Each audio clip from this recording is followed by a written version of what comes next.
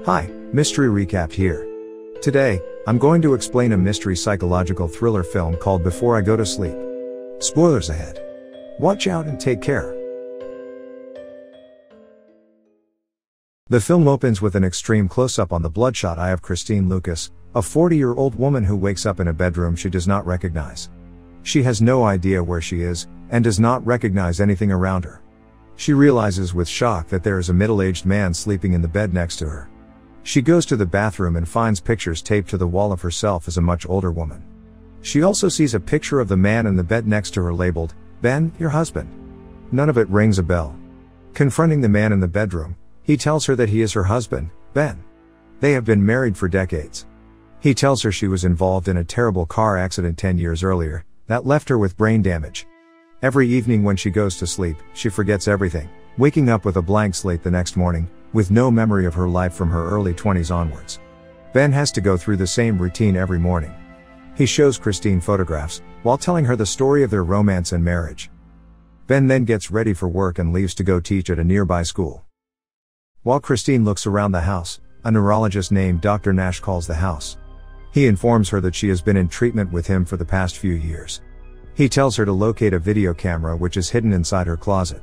Dr. Nash tells Christine not to inform Ben of the camera. He tells her to watch the videos and to call him back.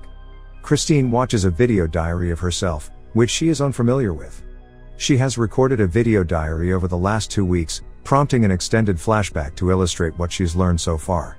She then meets Dr. Nash, who explains that she has been seeing him for some time without her husband's knowledge. He tries to help her deal with her condition. Dr. Nash further reveals that her memory loss occurred 10 years ago. After she was attacked and left for dead near an airport hotel. However, she is very confused. Her husband, Ben, said that she had a car accident. She wonders why Ben lied to her about the cause of her amnesia. Dr. Nash suggests, perhaps it's just easier. Dr. Nash then takes her back to where she was found after the attack, hoping it would trigger her memory. She was found by the airport. The man who found her explains that it was a long time ago. She was found with blood all over her body. She was naked, apart from a plastic sheet from a nearby hotel. She questions, why would she be staying in a hotel, which Dr. Nash suggests she was having an affair. The medical examination indicated she had sexual intercourse just before the attack. Later that evening, she's back home and begins to record her new discovery. At night, when she sleeps, flash cut memories emerge, the moment she got attacked by someone in a hotel. The next day, Dr. Nash shows her some pictures. Some were taken random, others from her file. One particular picture causes distinct neural excitation. The picture of a red haired woman named Claire. At home, when she asks Ben about this, Ben tells her that Claire was her best friend who couldn't handle Christine's condition after the accident. She has moved abroad and ended contact with Christine. Ben then shows her pictures with Claire, saying he kept this hidden from her to protect her. The next day, Christine gets flashes of memory and recalls that she had a son. She angrily confronts Ben over hiding their child. However, to her surprise, he says their son named Adam died of meningitis when he was 8. He has been keeping all these secrets away from her, to protect her from reliving the pain of that experience. Afterward, while crying, she continues to record this painful discoveries. While sleeping, Christine continues to struggle with her memories of baby Adam, which culminate in a wickedly weird dream, a dream where Adam leaves her a drawing of a man with a scar on his face. The picture is labeled Mike. The next morning, she tells Dr. Nash that she thinks Mike was the name of the man she had an affair with. He was her attacker. Nash hugs her to comfort her, he almost kisses her. However, his jacket opens to reveal his hospital ID and his full name. Mike Nash. She sees a vision where Nash attacks her in a hotel. Christine immediately pulls back and runs from him but he catches her and administers a sedative, leaving her at home. Later that day, her phone rings. It's Dr. Nash. He tells her that he administered a mild sedative to calm her down. He explains to her that she experienced what they call confabulation, her imagination filling in the gaps in her memory, turning him into the man who did this to her. The next day, Christine again meets Dr. Nash. He doesn't feel he can treat her anymore, because he has feelings for her, and it's completely unprofessional. Before they part, Dr. Nash tells her a shocking revelation. In 2007, Ben had placed her in an assisted care facility, and later in 2009, he divorced her, leaving her in the care facility. Furthermore, her best friend, Claire, had been trying to contact her at the care facility. Nash then gives Claire's phone number to her. After hearing that revelation, Christine angrily confronts her husband, asking the reason he divorced her four years ago. She demands to know the truth. There, he reveals that when they lost their son, he got depressed, so he divorced her, leaving her in the care facility. However, he soon changed his mind and came back to her. He promises that he will never leave her again. Knowing this truth, Christine understands his situation, and she hugs him. Later that day, Christine contacted her best friend, Claire. As she hears Claire's voice, she begins to get glimpses of her past memories with Claire. They agree to meet at a local park. In their meeting, Claire reveals why their relationship drifted apart. Christine's husband, Ben and Claire had a one-time sexual encounter, due to their shared grief at Christine's memory loss.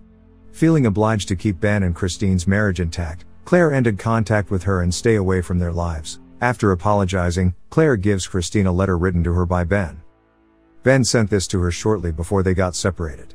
He asked Claire to give it to Christine should she ever be well enough to read it.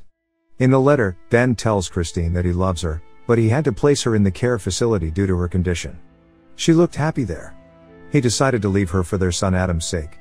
Adam was unable to understand her memory loss, and begun to be afraid of her. Ben believed for Adam's sake that they needed to leave her, and he begs her to understand.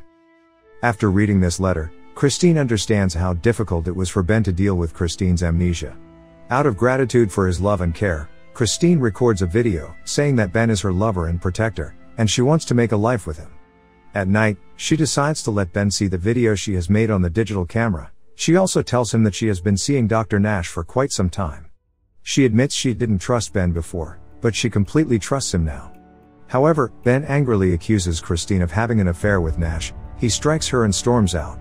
On the telephone, Christine talks to Claire about what just happened. Claire is confused. Because she knows Ben, and he is a very good gentleman. He will never strike her like that. So Claire decides to give Ben a call. A few moments later, Claire rings Christine back. She tells Christine that Ben claims not to have seen Christine for four years. Claire asks Christine to describe the Ben she is living with, whether he has a scar across the right side of his face. She checks Ben's picture, no scar. That moment, they realize the man she is living with is not Ben. The wedding photo is fake. Christine immediately attempts to escape the house, but Ben renders her unconscious. The next morning, Christine again awakens with no memories. She finds the camera and sees her entry saying she loves Ben, and wants to make a life with him. Ben calls Christine and tells her to pack, that they are going on a trip that night. That night, Ben takes her to a hotel close to where she had been found. In the hotel room, she gets glimpses of what happened 10 years ago. He reveals that he is Mike, the man she had an affair with. Christine then remembers that Mike had wanted Christine to reveal their affair to Ben, but Christine refused. Their argument culminated in Mike viciously attacking Christine, resulting in her amnesia. He also inadvertently reveals that Christine's son Adam is still alive. Declaring his love for Christine, Mike deletes the videos on her camera and states that he is no longer interested in playing the part of Ben. He tells Christine that they shall live together, or no one shall live. Another struggle ensues, but this time Christine knocks Mike out and gets away. She sets off the hotel fire alarm while running from the hotel. And is seen telling her story on the camera while waiting in an ambulance. Christine wakes up in a hospital bed and is visited by Nash, this time as a friend and not as her therapist. He assures her the man responsible for her condition, Mike, has been arrested. He tells Christine that she has visitors and that he hopes the visit will provide the breakthrough they have been hoping for. The real Ben comes to visit Christine. And he's brought someone else. Adam, their son, who never died of meningitis. As she sees Adam entering her room, her memories return. With tears full of joy, the two of them hug each other, and the movie ends. Now, for the explanation. I will explain the sequence of events that happened, prior to the events in the movie. In 1999, Christine and Ben got married. But not this Ben, the real Ben.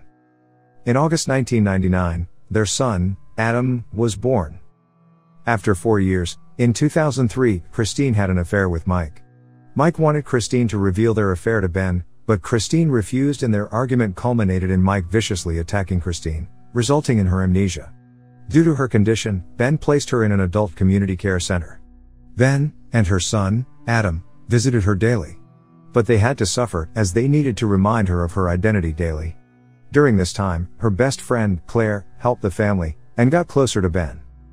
One day, Ben and Claire had a one-time sexual encounter, Due to their shared grief at Christine's memory loss. Feeling guilty, Claire decided to stay away from their lives. After a few years, Christine's condition hadn't got any better. Ben couldn't go on anymore.